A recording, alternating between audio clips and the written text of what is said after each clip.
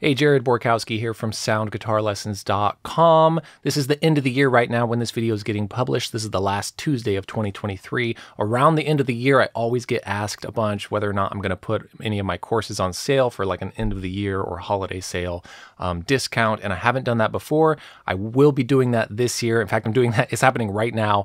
Uh, just until January 1st, you can get 15% off any of my courses if you use the discount code at checkout 202315. That's 2023 15 as in 2023 the year and 15% off. Uh, so if you're interested, just letting you know that up front, those that coupon will be good through January 1st. So for this video, I thought it'd be cool to go through some of the courses that I have and give you a little sampling of the material that's in several of the programs that I have. Hopefully you'll find it interesting and useful and even educational, even if you don't want to sign up for one of the programs. That's okay.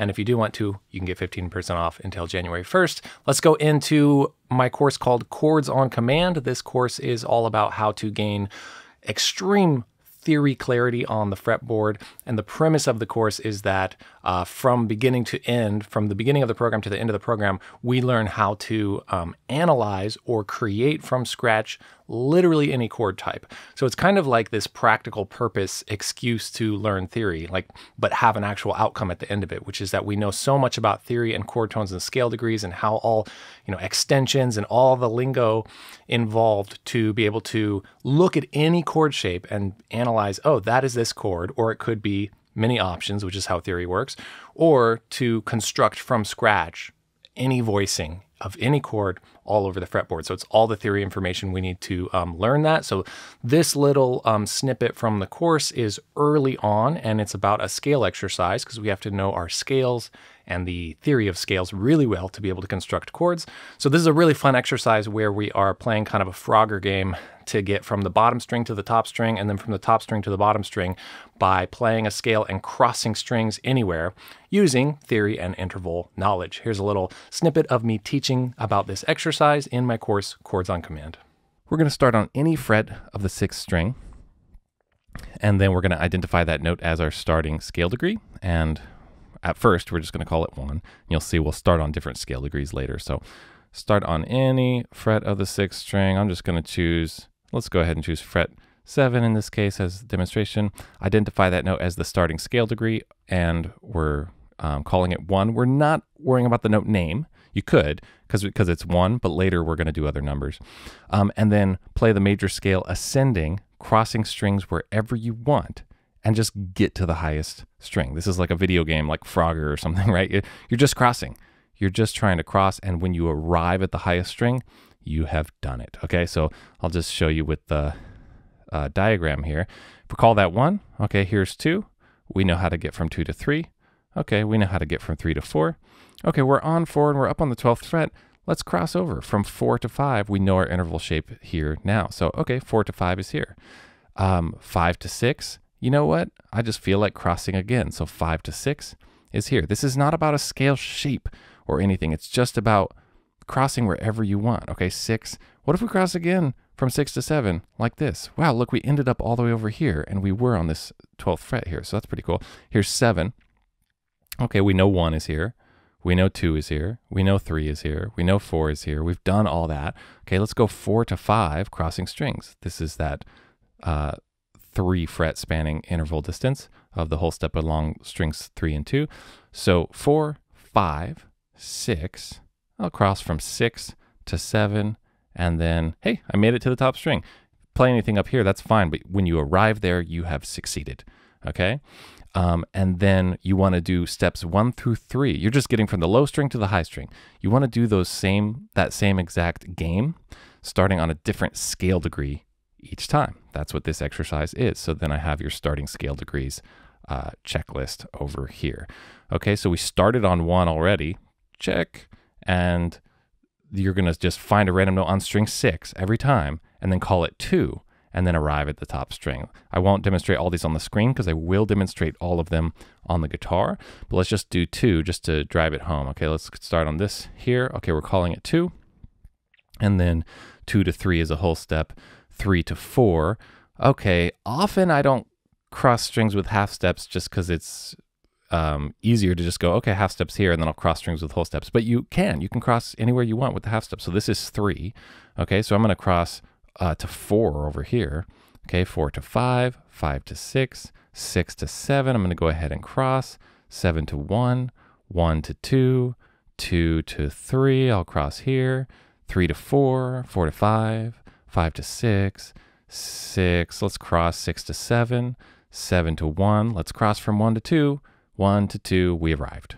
Okay. So, yes, you want to get to the top string and you're done. The goal is not necessarily to get there as quickly as possible. We have a different exercise for that. But you can, you can just cross as soon as you can every time and just get there if you want, or you can play around on a string. Um, as much as you want until you get there. But you see the point. Um, kind of a fun way to do this. So that's my course, Chords on Command. The next one I want to look at is my course called Jazz Comping Mastery. And I actually have two volumes of this Jazz Comping Mastery 1 and Jazz Comping Mastery 2. These are a couple of my oldest courses, but also a couple of my most popular courses. This program is um, something that people really enjoy because it's very drill based and very practical for exactly how we practice all kinds of inversions and um, voicings of specifically seventh chords all over the fretboard, and then how to use the same shapes that we already learned in the first part and create extensions and superimposed chord shapes uh, for the second part. So, what the sampling I want to show you here is all the way at the end of Jazz Comping Mastery 2, where after the two courses, we've learned all the voicings, and then we've learned how to use those same voicings for multiple different types of chords and extensions. And then we're just going through the progression of autumn leaves and showing how we can go switch when chords change, we can move to the closest possible voicing. And often the voicing can be like one note moves one half step to create a full different chord. So You'll see what I mean when you watch this clip. This is from Jazz Comping Mastery 2, all the way at the end of the of the program doing something that I call the comping game. Here's the clip. Here's a half diminished. I want to bounce around a little with this, just I want to play with it. Okay. I want to end up there. Now D7 flat 9. Whoa! One note moved from A half diminished to D7 flat 9. That is cool. So I'm going to do that again other places. Is that going to work somewhere else? Okay. Well, here is A half diminished, D7 flat 9. Yes, everywhere you do it, you're going to have that one note. Beautiful. A half diminished, D7 flat 9. Okay. A half diminished, D7 flat 9. Where's that D? Oh, here's that normal D replacement approach, flat nine. Hope you're seeing seeing how this could this could work. Really take it from the ground up though, and be like slow, slow, slow about it. Okay, here's my D seven flat nine. Where is my G minor six? Ooh, beautiful. That's that Miles Davis note. Specifically on this tune, do the famous version of, of Autumn Leaves that Miles Davis did uh, with, I think, Cannonball Adderley they land on that G, G minor six. That, that, might even be why this tune is, is played that way now. I don't know if it was before that. Um, so cool. G minor six. All right. G minor six. Now I'm just jumping around, wanting to make sure I'm seeing G minor six, enjoying it. All right, ready to go to back to that repeat C minor nine again. Oh my gosh. G minor 6 to C minor 9, one note change, again like before. So now I want to experiment with that everywhere. Shoot, okay, well, here's one of the G minor 6s. Whoa, there's the C minor 9. Oh my gosh. So freaking cool. Here's that C root. That's one of the ones we did in the exercise. I don't expect you to see these while I'm playing it. I'm just giving you an example of how, how I'm going about it. So that's Jazz Comping Mastery. The next course I want to show a sample of is my course called Introduction to Fingerstyle Guitar. I actually might be renaming this course um, later on and um, adding a bunch to it so it's more of a really comprehensive um, fingerstyle guitar course. But for now, it's called Introduction to Fingerstyle Guitar. It does have some advanced stuff in it as well, but it also has some really simple kind of introductory Travis picking uh, lessons in it. Um, and one of the lessons has an etude for connecting bass lines between chords while using finger picking patterns through chord progressions. The clip I'll show you is just a very short straight up demonstration of me playing the etude for how to connect bass lines uh, between chords after having taught it. Check it out. Here's the clip.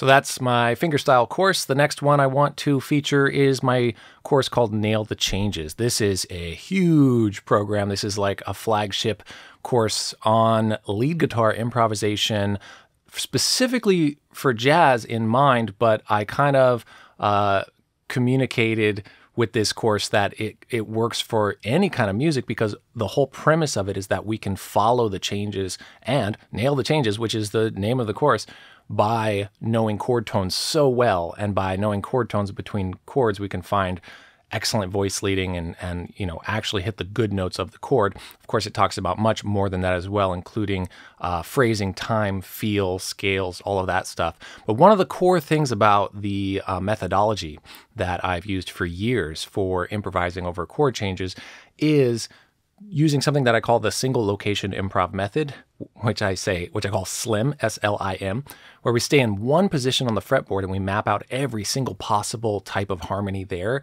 And we do very specific exercises with every chord type so we can see it crystal clear every single shape. By doing that in every key through the circle of fourths, we then have every physical uh, and form and shape and hand motion that we need to play anything all over the fretboard.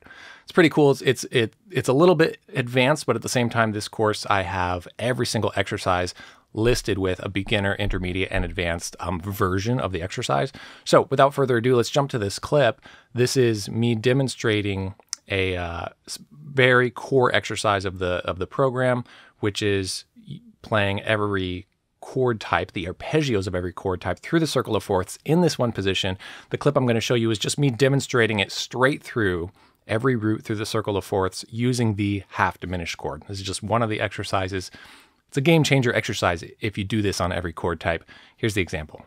Half diminished. One, two, three, four.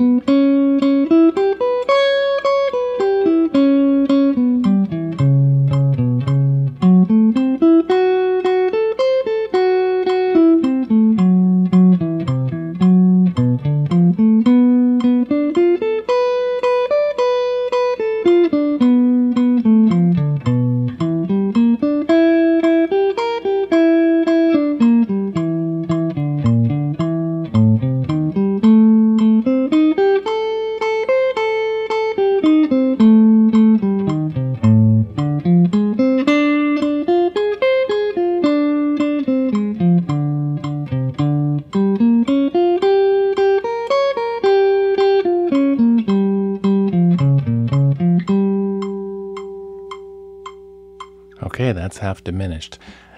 So that course was Nail the Changes. Let's move on to my technique course called Top Notch Technique.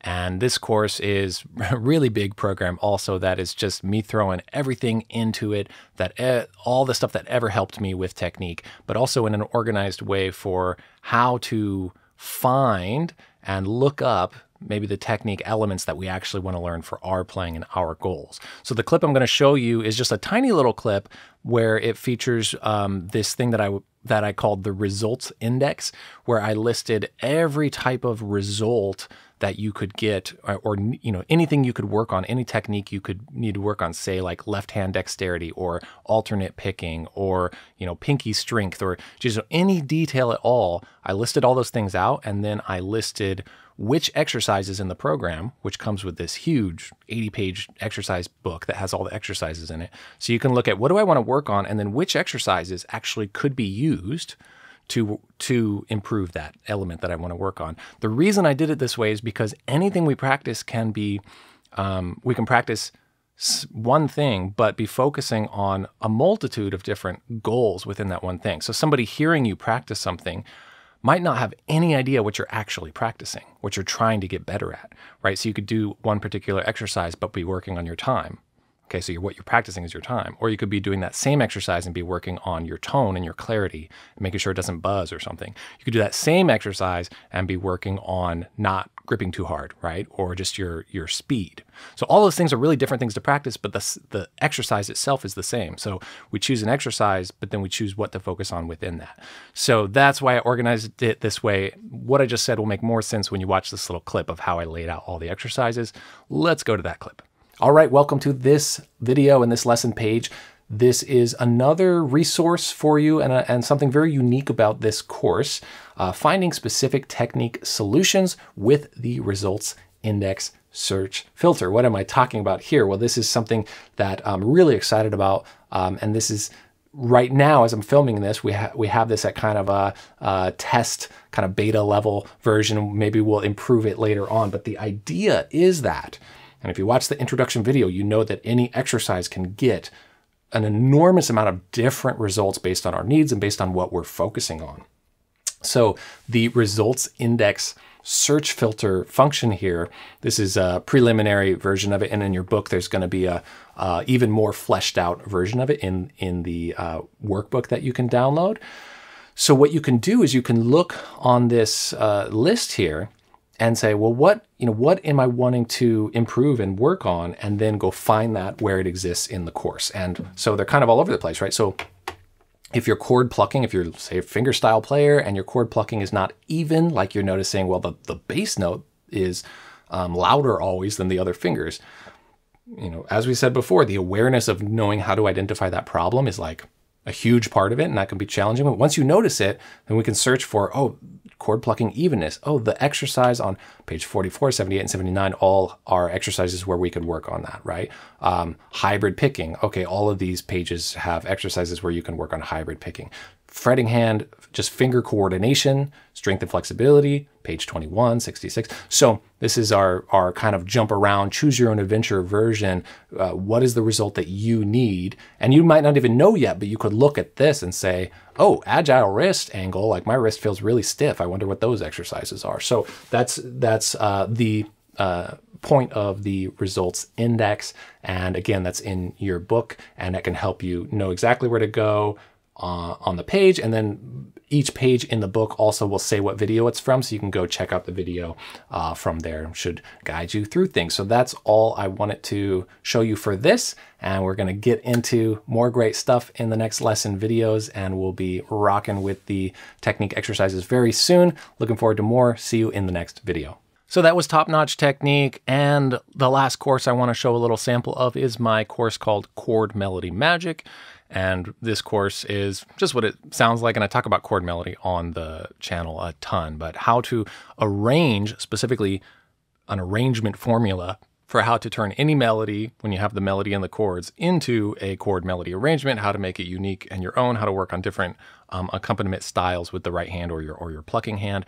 Um, and then I have a different um, kind of upper tier of the course that is all about uh, improvising and soloing called systematic chord soloing. But this this uh, sample, this little clip I'm going to show you of chord melody magic is just one of the demonstrations that I have in the course of the tune "I'll See You in My Dreams." I love this tune. It's an old jazz tune, um, and Django Reinhardt does a very famous version of it, a version that I really love. So I took this tune and uh, just demonstrated using exactly what I teach in the course, demonstrated a chord melody uh, arrangement of it. Here's the clip.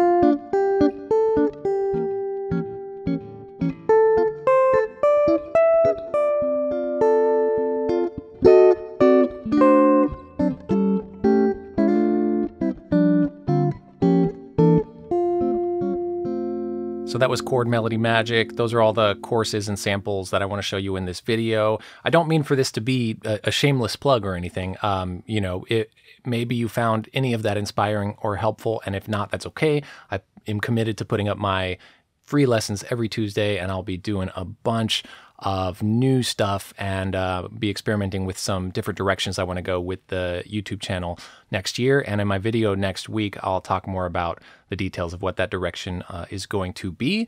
But I uh, just wanted to share here some of the stuff that's in my courses and again, let you know that you can get 15% off any of the programs if you use the coupon code 202315, 202315 for 15% off, and that's good until January 1st. Uh, well, see you in that next video next week. Hopefully, uh, I publish a new lesson every Tuesday. Thanks for watching. Happy New Year if you're watching this when it's coming out now, and uh, take care. See you soon.